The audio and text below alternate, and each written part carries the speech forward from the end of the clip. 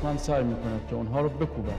بنابراین ما نباید وسیله قرار دهیم تا این طرح دشمن پیاده شود.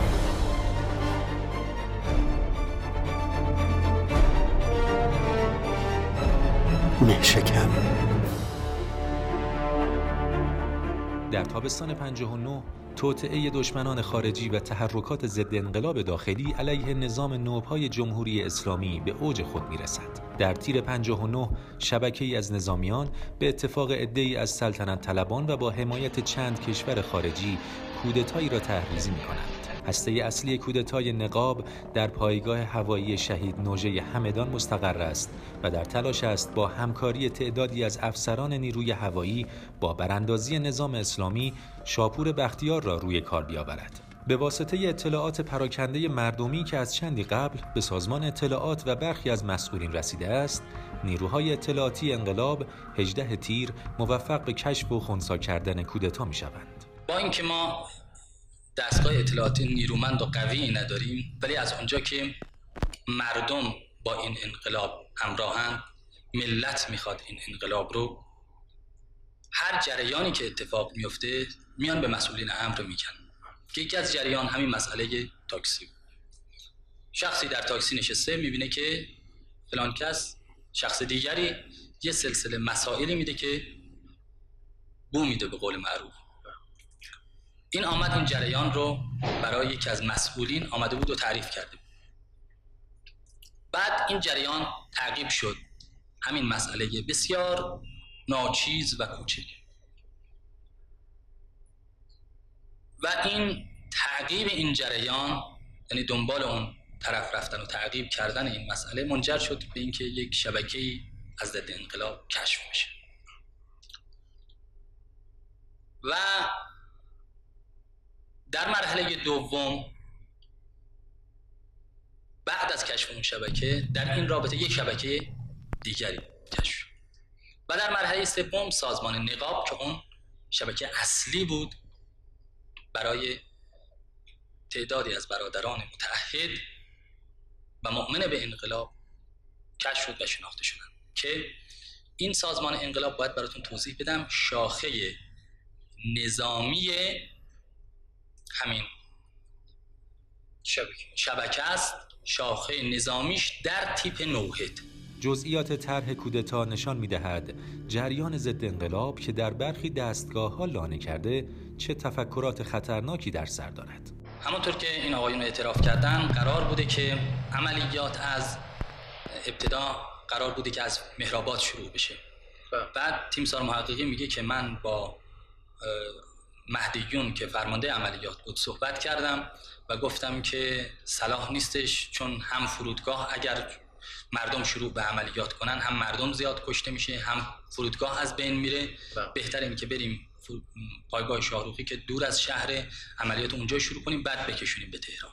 برای اینکه هواپیما از زمین بلند بشه یک مقدار سلسله مراتب باید طی بشه. اینا چطوری می‌خواستن هواپیما رو بلند کنن؟ و چند تا هواپیما بوده در اجرای این عملیات؟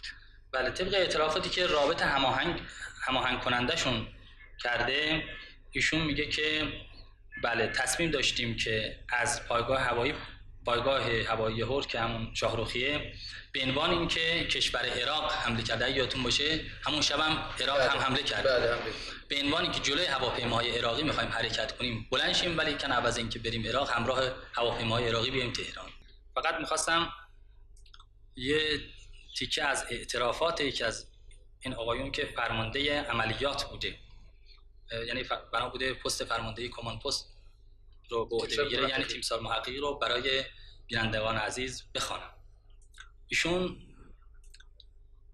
نوشته که عملیات هوایی را قرار بود من هدایت کنم و نقاطی که در طرح بود قبل از هر عملیات دیگر منزل امام و بعد زدن باندهای مهرآباد و عبورهای سوپرسونیک یعنی شکستن دیوار صوتی در روی تهران و حفظ برتری هوایی از این جهت که پایگاه های دیگر نتوانند بر ضد ما وارد عمل شوند کشف کودتایی که می توانست با تکرار حوادث 28 مرداد 32 انقلاب را دچار مشکل جدی کند، ایجاد سازمان اطلاعاتی قوی و متکی بر مردم را کاملا ضروری جلوه می دهد.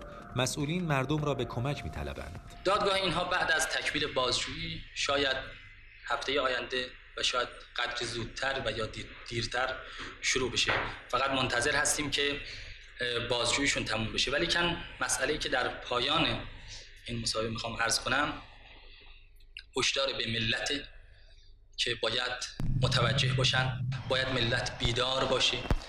به مجرد اینکه مثل سابق به مجرد اینکه فرد مشکوکی خانه مشکوکی مسئله مشکوکی به نظرش میاد به مقامات و به مسئولین به کمیته ها یا سپاه پاسداران یا دادگاه انقلاب داستانی انقلاب خبر بدن سپاه در کشف و خونساسازی نقشه پیچیده کودتا نقش تعیین کننده دارد. این واقعیت نشان می دهد انقلاب می تواند بر روی این نهاد مردمی حساب ویژه‌ای باز کند. در این حال که واقعا این مسئله کودتا یک کار احمقانه ای بوده ولی مسئله بسیار وسیع بود و عملیات از پایگاه هور یا پایگاه نوژه واقع در همدان شروع می شد بعد از اینکه پایگاه خل سلامی شد محققی می‌رفت در اونجا و فرماندهی نیروی هوایی رو باده می‌گرفت. فانتوم ها به پرواز در می و مواضع حساس کشور رو بمباران می‌کردن. بعد از این رادیو تلویزیون فرودگاه ها و محل, محل های حساس دیگه تصرف می‌شد؟ ببخشید این تصرف شد یعنی به وسیله نیرو هوایی یا باز عوامل دیگه که داشتن؟ اینجا مختلفه.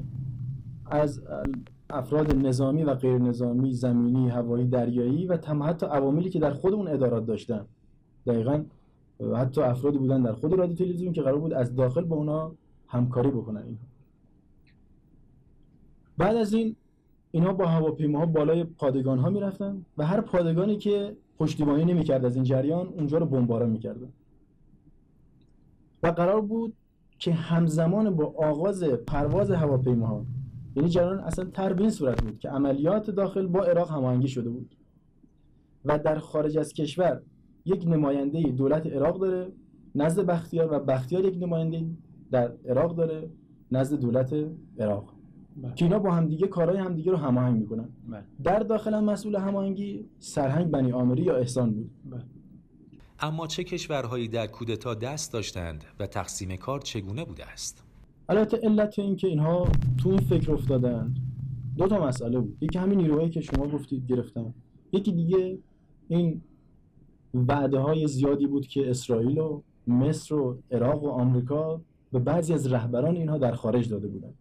و اینا احساس می‌کردن که خب چون اینا پشتوانشون هستن و کمکشون می‌کنن و تقویتشون می‌کنن خیالشون راحت بود که دیگه بتونن به راحتی کودتا بکنن و موفق بشن بله. اما در رابطه با جذب نیرو اینا دقیقا از 8 9 ماه پیش شروع به سازماندهی کرده بودن و امام هم در بیانات پارسالشون تاکید کرده بود که باید قاطعانه عمل کرد و نگذاشت که ریشه های شیطانی دوباره به هم دیگه پیوند بخوره و دقیقا همینطور بود از 8 9 ماه پیش اینا شروع کردن دوباره به هم ارتباط برقرار کردن محسن رضایی از روش های سوء استفاده دشمن از اتفاقات داخلی می‌گوید و انواع تحرکات ضد انقلاب را در فضاسازی علیه انقلاب افشا می کند.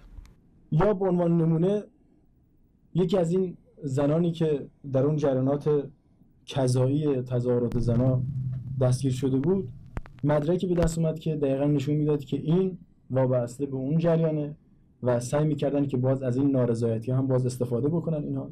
و حد اکثر تلاششون این بود که این نارضایتی ها و این انتظاراتی که در مردم بعد از انقلاب وجود اومده اینها رو سوق بدن به جهت چی؟ به جهت مخالفت با اصل انقلاب و محتوای انقلاب و از اون شکل اصیل برخورد اصولی مردم به شکل انحرافی بکشونش و در نتیجه خودشون ازش بهره برداری بکنن. خوشبختانه در همین خونهای تیمی که از اینها ما گرفتیم دقیقا اصلا ریشه های شایعات رو ما در آوردیم.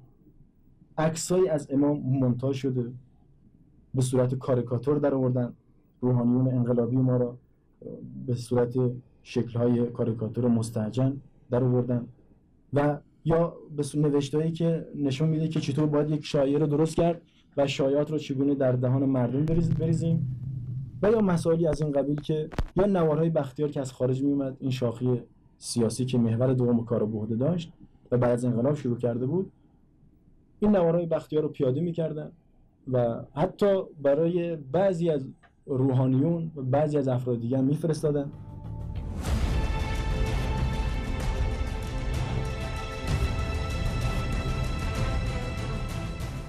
نمایندگان مجلس در اولین جلسه علنی بعد از کشف کودتا میزبان دکتر چمران وزیر دفاع هستند تا جزئیات مسئله را بررسی کنند. حسن روحانی نماینده مجلس در این جلسه به موضوع آتش سوزی مکرر انبار مهمات ارتش اشاره و این مورد را مشکوک تلقی می کند. برخی از نمایندگان این کار را افشای مطالب حساس می دانند و به آن اعتراض می کنند.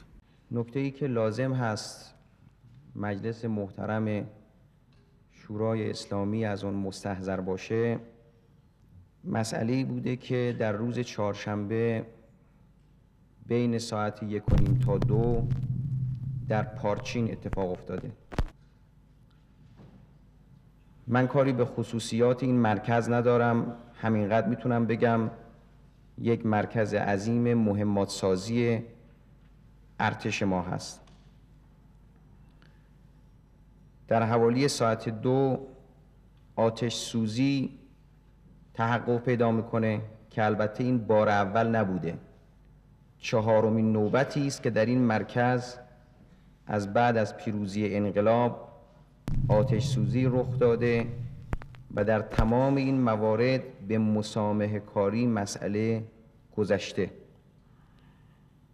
از مرکز آتش سوزی تا انبار مهمات TNT دقیقا بازرسینی که رفتن ده قدم بیشتر فاصله نبوده. من فقط می‌تونم بگم اگر این توطعه تحقق پیدا می‌کرده عصر چهارشنبه حداقل نصف تهران از بین می‌رفته. یعنی شعاع عملکرد این مواد تا هفتاد کیلومتر بوده با توجه به اینکه از اون مرکز تا تهران فقط 47 کیلومتر فاصله است. بیش از 20 کیلومتر شعاع داخل شهر رو فرا می گرفته و 20 کیلومتر داخل تهران چیزی باقی نمیمونده من در اینجا خوشبختانه مسئول وزارت دفاع هم تشریف دارند. مسئله رو مطرح می کنم. بازرس وزارت دفاع وقتی رفته اونجا مسئله رو خیلی با مسامحه گذرانده. گفته اگر تعمد بود خب خود اون طرف هم که آتش سوزی به پا کرده بود خودش هم از بین می‌رفت. چون لابد طرف جون خودش دوست داشته پس پیداست تعمدی در کار نبوده. چون اگر تعمد بود وسیله فتیله این کار انجام می گرفته و چون آثار فتیله نیست پس کافی است. تازه حالا همون فردی که به عنوان باز از هم رفت جناب عالی هم رعایت موضوع رو سوء استفاده نشود از این بیاناتی که شما اینجا میفرمایید. اینا این مسائل خاص است نه مسائل سری نیست. نه سری نیست. مسئله سری نیست. مسئله است که باید مجلس ازش مستحضر باشه. حالا من علتش عرض می‌کنم. مسئولین می‌دونن برادر. مسئولین می‌دونن. این که گفتم تو مسائلی در این زمینه مطرح هست که البته با خود مسئولین در میان گذاشته میشه. اما در این حدش میشه یا شده؟ هم شده و هم ادامه خواهد یافت. هم شد... میشه مطرح نفرمایید. نه هم مسئولین در جریان هستند. من پیشنهاداتی دارم که با مسئولین در میان گذاشته خواهد شد. خب پس این بنابراین... خودتون بذارید. اینجا چرا بحث می‌کنید؟ آخه اجازه بفرمایید آقای صاحب شما نمی‌ذارید حرف من تمام آخه بشه. این حرف شما من که آزادی عمل به شما میدم. سوء تعبیر می شود سوء استفاده میشه مسیقات ایجاد کنیم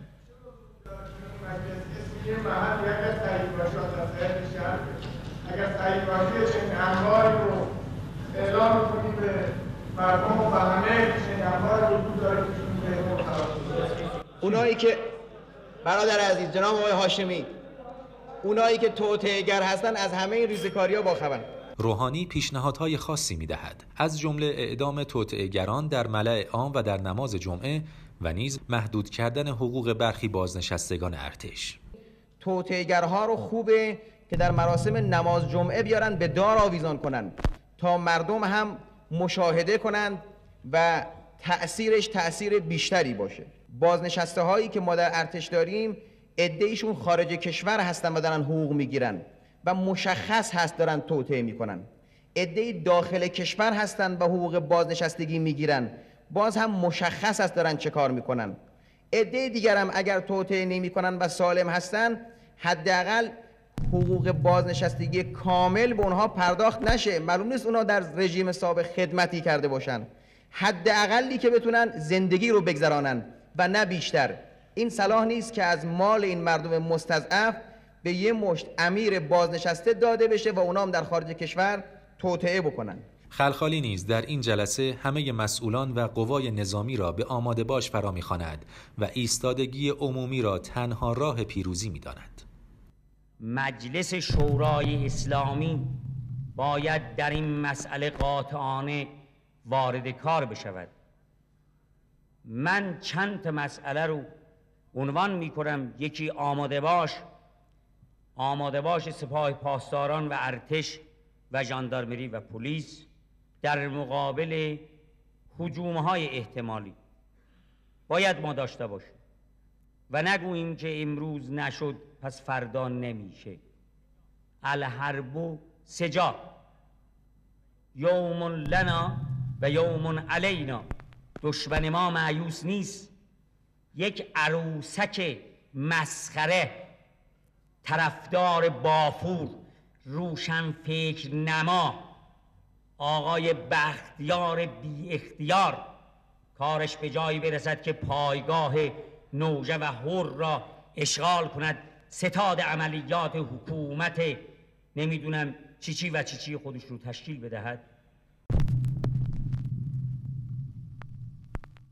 پس از نمایندگان نوبت به دکتر چمران وزیر دفاع می رسد تا از بدنه ارتش دفاع کند و حساب کودتاگران را از ارتشیان وفادار به انقلاب جدا بداند.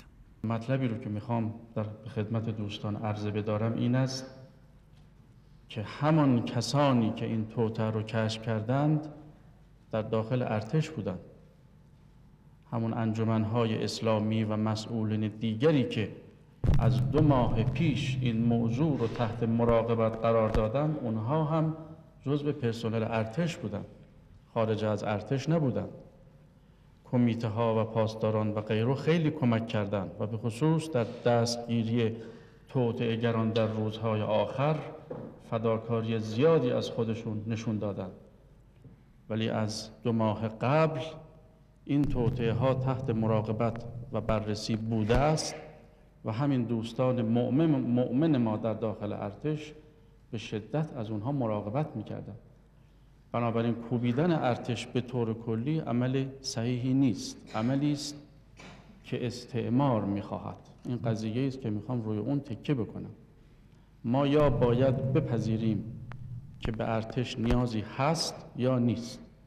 اگر نیازی نیست مرخصش کن ولی اگر نیازی هست در نابودیش نکوش مطلبی رو که ما با ایمان داریم و مطمئن هستیم دشمن ما با تمام قدرت خیش میکوشد که ارتش رو تضعیف کند و حتی نابود کند منحل کند. شعار انحلال ارتش از شعارهایی است که ضد انقلاب از روزهای اول مطرح کرده و هنوز هم به دنبال آن است. نهاد انقلابی در این کشور مورد هجوم هست.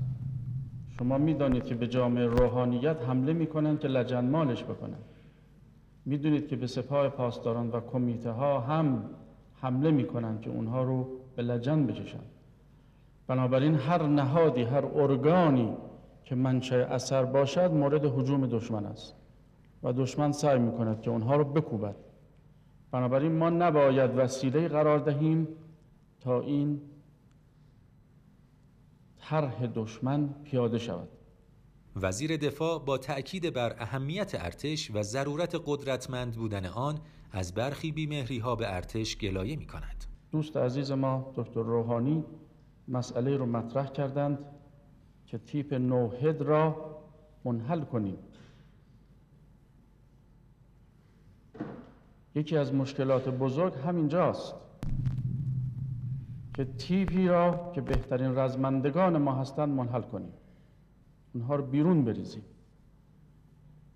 یا دوازده هزار نفری رو که بیرون ریختیم اینها چه خواهند کرد؟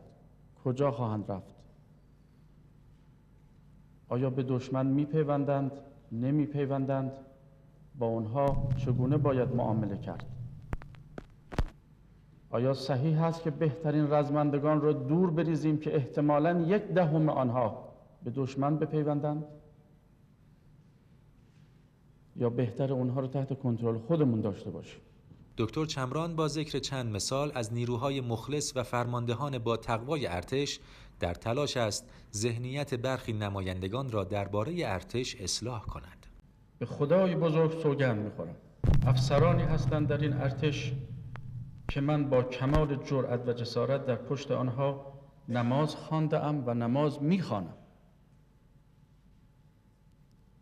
بد نیست از یکی از افسران پاک اسمی برم به نام سرگرد سیاد شیرازی که هم اکنون به فرماندهی عملیات غرب منصوب شده است و یک سرگرد است. و رئیس جمهور هم دستور فرمودند که به او دو درجه بدهند که سرهنگ بشن. این افسری است که در روزگار گذشته سال گذشته در سردشت همراه من بود و پاکی و تقوا و ایمان و شجاعت هر چه بخواهید در این افسر بی‌نظیر است.